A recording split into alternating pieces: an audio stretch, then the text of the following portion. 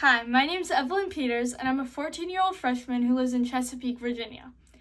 One of the most meaningful experiences to me in theater it was performing Little Women last year. It was meaningful to me for several reasons, one of them being that I got to experience friendships and new things with other actors that I never really had the opportunity to before because I mainly had just done school shows. And this was my first show that was outside of school, and it was one of my first lead roles. I was playing Meg March.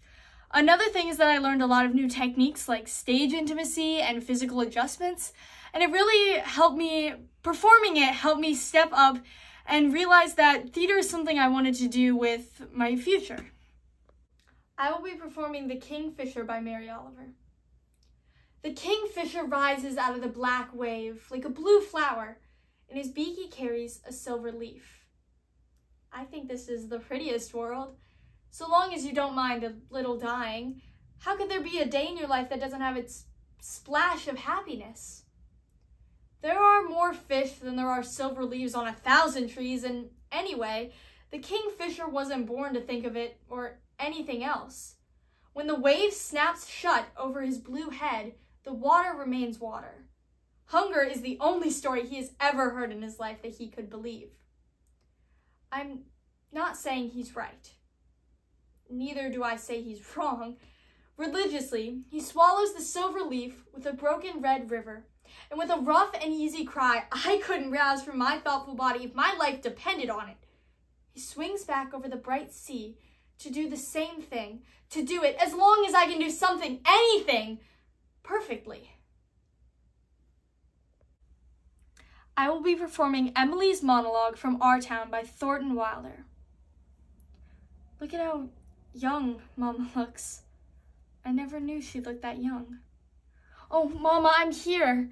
I'm all grown up. Mama, 14 years have gone by. I'm dead. Your grandmother, Mama. I married George Gibbs.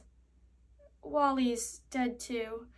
His appendix burst on a camping trip up to North Conway, and we felt just terrible about it. Don't you remember?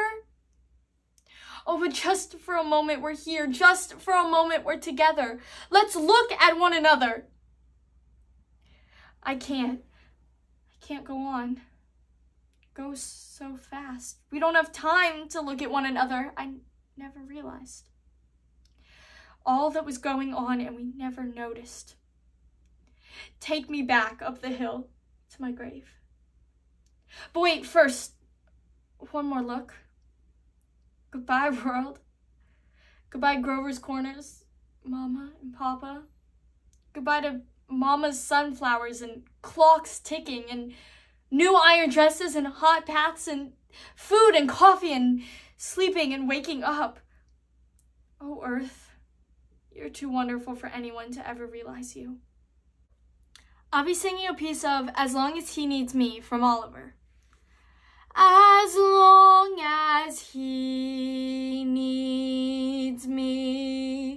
Oh, yes, he does need me. In spite of what you see, I'm sure that he